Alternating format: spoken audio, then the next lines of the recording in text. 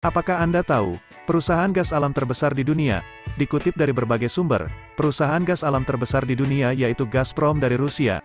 Gazprom memproduksi gas alam sekitar 449,7 miliar meter kubik, dan cadangan terbukti sekitar 17,5 triliun meter kubik.